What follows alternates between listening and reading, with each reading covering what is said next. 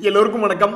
ரைட்ரா இருந்தால் வீட்டுக்கு இல்லைன்னா நாட்டுக்கு அப்படின்ற மாதிரி இன்னைக்கு தான் வாரத்தின் முதல் நாள். இன்றைக்கே என் போர்ட்ஃபோலியோ எல்லாம் ஓப்பனிங்லேயே ஒரு ஏழாயிரம் ரூபாய் கிழிச்சு விட்டாங்க.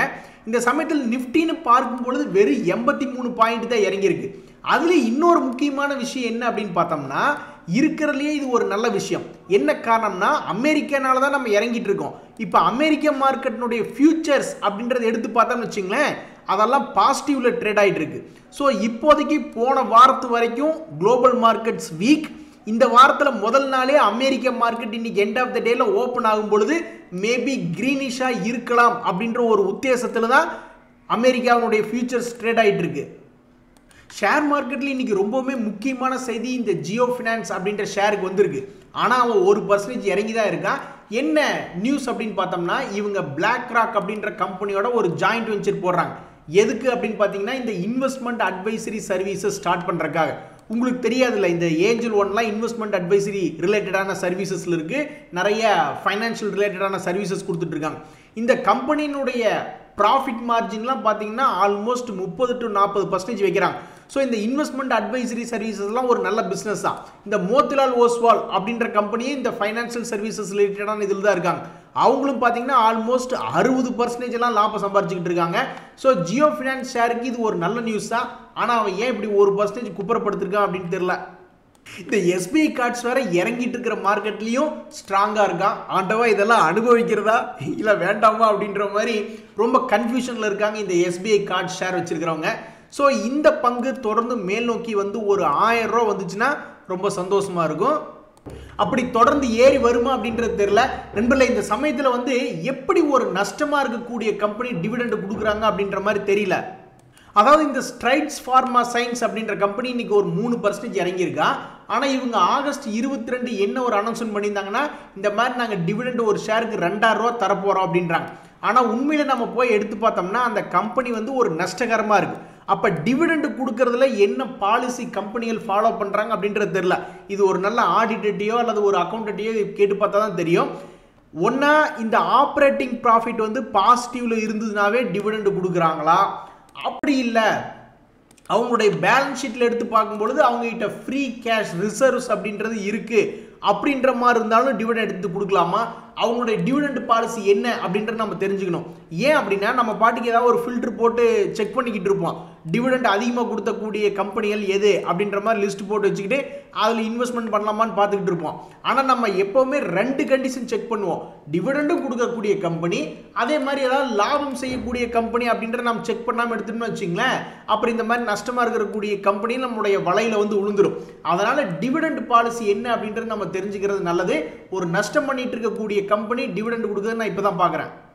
நண்பர்களே ஒரு முக்கியமான செய்தி ஒன்று வருது. என்ன அப்படின்னா இந்த குரங்கு அம்மை அப்படின்ற தொற்று பாதிக்கப்பட்டவர் இந்தியாவில் முதல் முறையாக கண்டுபிடிக்கப்பட்டார் அப்படின்ற மாதிரி ஒரு நியூஸ் வருது. பட் இதனால் எது பெருசாக பிரச்சனை இல்லை. அவனை கண்டுபிடிச்ச உடனே அவரை நாங்கள் தனிமைப்படுத்திட்டோம் அப்படின்ற மாதிரி சொல்லிட்டு இருக்காங்க. இந்த சமயத்தில் லாரஸ் லேப்ஸ் அப்படின்ற ஷேர் யாராவது வச்சுருக்கீங்களா?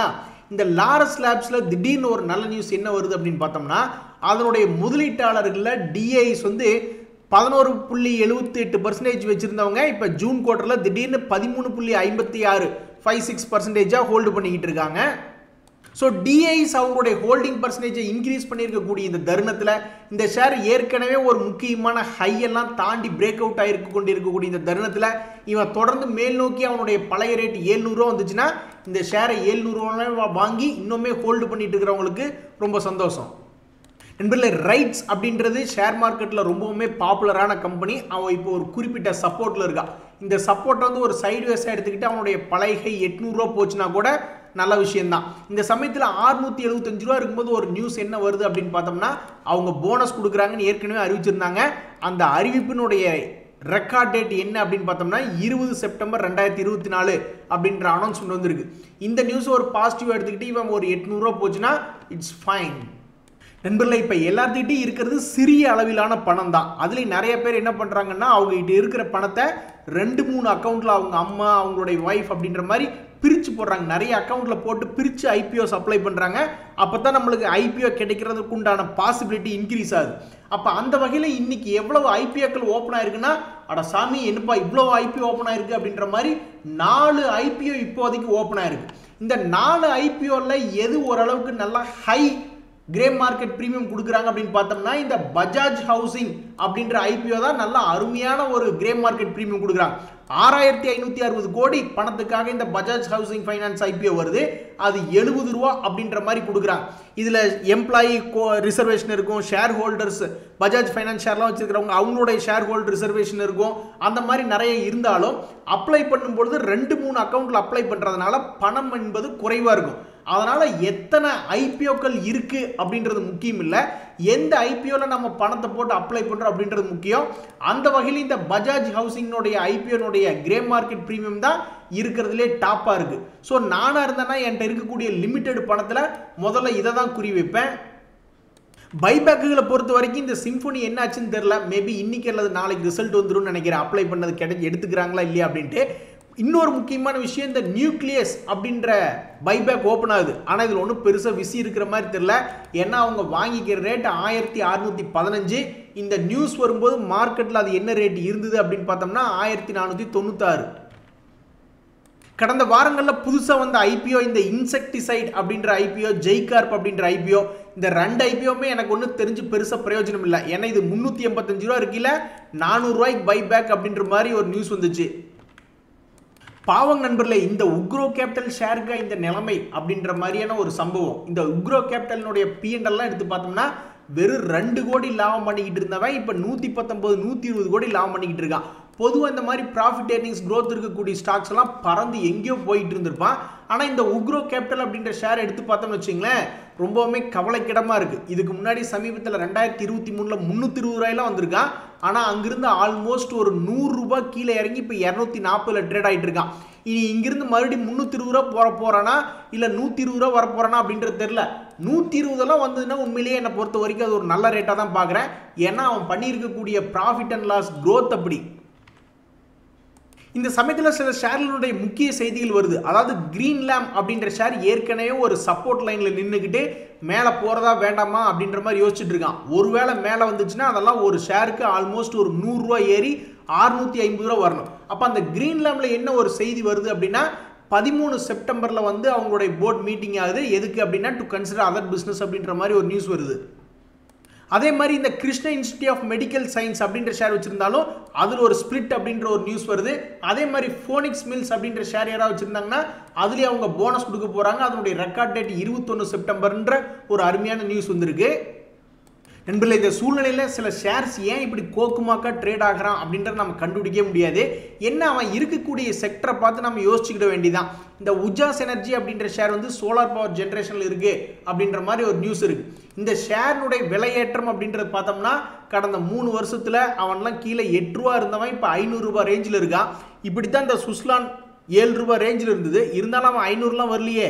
அவன் இப்போ தான் ஒரு ஐம்பது ரூபாய் வந்து தொட்டிருக்கான். இந்த சமயத்தில் இந்த உஜாஸ் எனர்ஜி மட்டும் ஏன் இப்படி கோக்குமாக்கா ட்ரேட் ஆகிறான் அப்படின்றது தெரியல. எஃப்ஐஎஸ் பொறுத்த வரைக்கும் ஜீரோ பர்சன்டேஜ் ஹோல்டிங்காக இருக்குது பப்ளிக்கை பொறுத்த வரைக்கும் அஞ்சு பர்சன்டேஜ் ஹோல்டிங் அப்படின்ற மாதிரி காமிச்சிக்கிட்டு இருக்கு. ஸோ இந்த மாதிரி ஏதாவது டிஃப்ரெண்ட்டான ஷேர்ஸ் நீங்கள் யாராவது எடுத்து வச்சிருக்கீங்க அப்படின்னா இந்த ஷேரில் ஒரு நியூஸ் வருது. என்ன அப்படின்னா இவங்க போனஸ் கொடுக்குறாங்க. அதனுடைய ரெக்கார்ட் டேட் இருபது செப்டம்பர் அப்படின்ற மாதிரி ஒரு நியூஸ் வருது. நண்பரில் ரெண்டு முக்கியமான விஷயம். இந்த வேதாந்தா ஷேர் வச்சிருக்கிறவங்களுக்கு இருபது ரூபா டிவிடெண்ட் கிடைக்கும். அது பத்து செப்டம்பர் அந்த ஷேர் அவங்களுடைய பேரில் இருக்கணும்.